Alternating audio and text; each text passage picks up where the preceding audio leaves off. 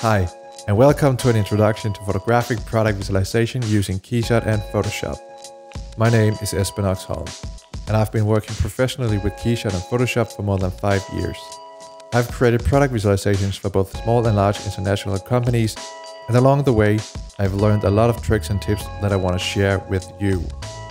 The goal of this course is to teach you my process for creating a photographic product visualization starting with the import of a model and taking you all the way through creating custom materials, doing custom lighting, tips and thoughts on how to composite the shot to quick yet effective post-processing techniques in Photoshop.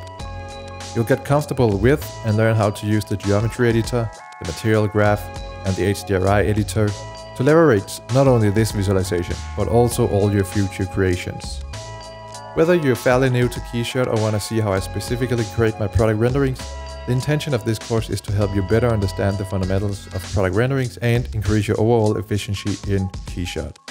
The video course comes with the raw 3D model, the Keyshot package of the final scene, a layered Photoshop file, and all the resources needed to create this exact visualization.